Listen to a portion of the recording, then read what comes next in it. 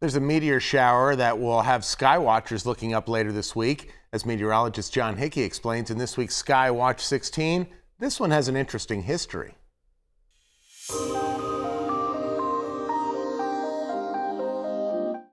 The Orionid meteor shower peaks later this week, and sky watchers in our area should have a great view of it. Like all meteor showers, the Orionids are caused by comet dust debris.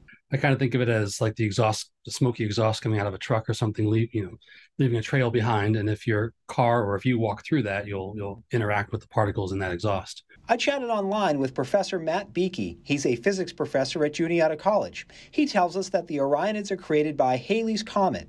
Halley's Comet wasn't discovered by English astronomer Edmund Halley, but he did calculate its orbit and predict its next appearance. Uh, this was using Newtonian mechanics in the 1600s, a, a, brand new field of physics, and he was exactly spot on. So it made his fame and made the comet pretty famous too. Like all meteor showers, the Orionids are named from where they appear from in the sky. The Orionids appear to radiate from near the constellation Orion. This hunting figure or this this mythological figure traces back all the way to the Babylonians. So when we are looking at Orion today, we're seeing the same figure that people four to 5,000 years ago were looking at and thinking of in, in a similar fashion. The Orionids are a longer lived meteor shower. We've had viewers say they have already seen some bright streaks in the night sky. The fact that there's more than the usual amount of fireballs being reported might mean that we're passing through a part of the of the dust trail which has a few more larger chunks and that's certainly worth keeping an eye on. While the science of predicting meteor shower quality is complicated, one major thing working in our favor is a particularly dark night sky,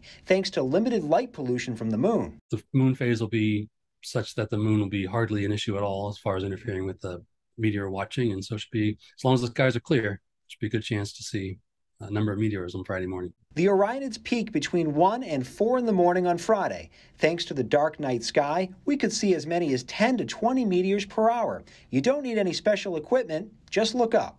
With this week's Skywatch 16, John Hickey, Newswatch 16.